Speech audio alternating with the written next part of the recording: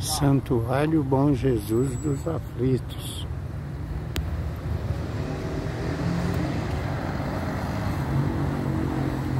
Vários prédios da cidade.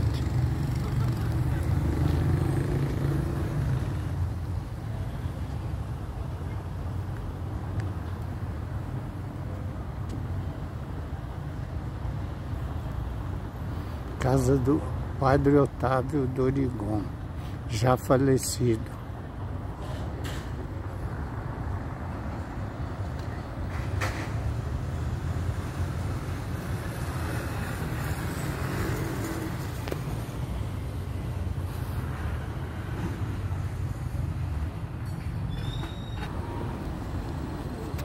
A fonte secou, depende dos prefeitos.